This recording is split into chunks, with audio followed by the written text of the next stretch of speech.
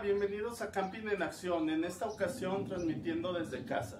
Aprovechando que estamos aquí, te voy a enseñar a preparar un objeto que todo superviviente, campista o persona que hace vida al aire libre debe de traer en su equipo básico.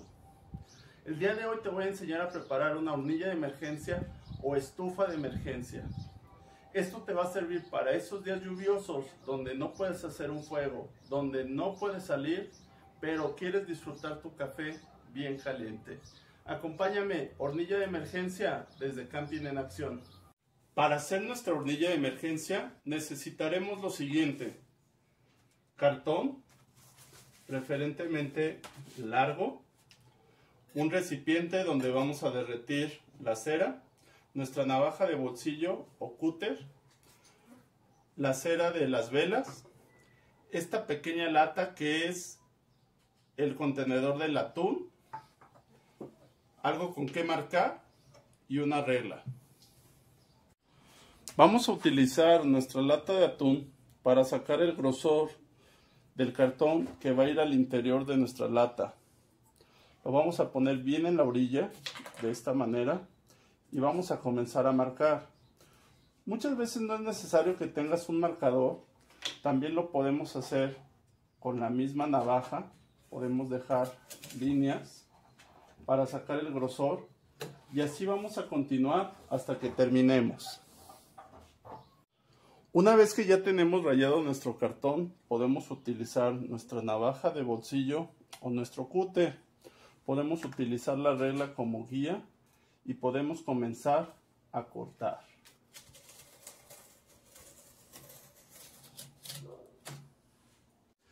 Al final nos quedarán dos tiras como esta. Es importante que tú las tiras las tomes y las empieces a doblar un poco para que sea más fácil de manejar. Las puedes apretar para que pierdan un poco la rigidez y sean más fáciles de manipular. Ya terminamos de aflojar nuestras tiras de cartón, de ponerlas un poquito más blandas. La vamos a sujetar y vamos a comenzar a hacer una espiral con cada una de nuestras tiras de cartón de esta manera. En este caso yo voy a utilizar dos tiras de cartón porque una sola no me va a bastar para cubrir el ancho de mi lata de atún ok vamos a hacer esta espiral una vez que lo tengamos y no queremos perder la presión nos podemos apoyar de un pequeño alfiler como este para sujetarla y nos quede la forma circular tal como en estos dos que ya tengo de muestra una vez que ya tengo este pequeño círculo que hemos estado viendo, vamos a tomar la segunda tira y lo vamos a hacer a contra. Es decir, vamos a enrollar en sentido contrario a la primera. Yo te sugiero que sí quede ajustado, pero no tanto, porque en esas ranuras que están quedando ahí es donde va a entrar posteriormente nuestra cera derretida. Vamos a ver, más o menos, esta es la medida de la lata de atún. La vamos a colocar y sí, más o menos quedó de la medida que nosotros necesitamos y te va a quedar algo así. Una vez que ya tenemos nuestro cartón dentro de nuestra lata de atún, vamos a proceder a deshacer nuestra vela. Lo podemos hacer en trozos, la podemos raspar, lo podemos hacer en rebanadas como tú te acomodes. Todo va a servir, ¿ok? En este caso lo estoy haciendo en rebanadas, pero tú puedes trocear tu vela, ¿sí? Es importante que este pabilo que tú ves aquí se lo cortes porque después nos puede utilizar para ponerlo al centro de nuestra lata de esta manera para el encendido. Vamos a seguir trozando y vamos a depositar nuestra cera en nuestro recipiente para después ponerlo al fuego.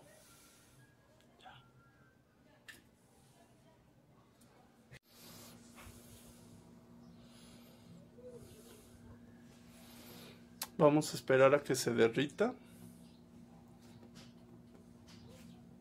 Una vez que nuestra cera está completamente derretida y en estado líquido, tienes que ser muy cuidadoso.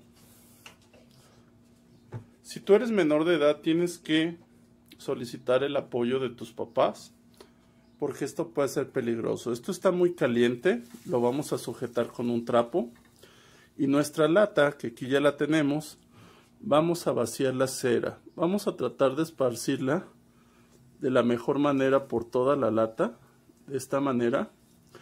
Y una vez que terminemos de vaciar toda nuestra cera que va entrando dentro del cartón, la dejaremos enfriar un rato. Yo la verdad soy muy impaciente y yo lo que hago es la meto al congelador o al refrigerador para que se enfríe un poco más rápido, pero eso ya depende de cada quien.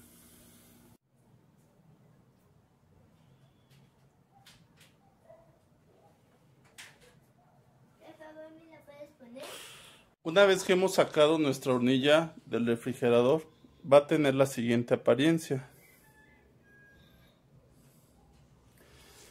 Vamos a proceder a encenderla para ver qué tipo de llama nos ofrece y cómo enciende.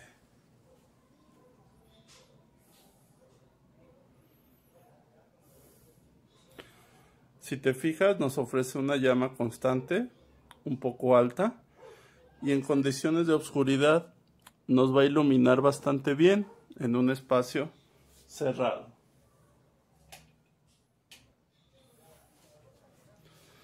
Ahora vamos a hacer una prueba. Por aquí tengo mi olla de campamento donde caliento mi café. Y vamos a ver qué tal funciona. la vamos a poner aquí. Si te fijas, la llama va creciendo un poco, se va expandiendo. Y aquí vamos a calentar nuestra agua. Vamos a ver si alcanzamos el punto de ebullición.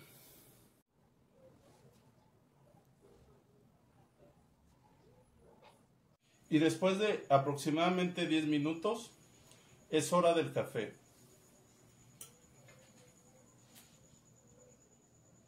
Con mucho cuidado lo servimos. Está hirviendo.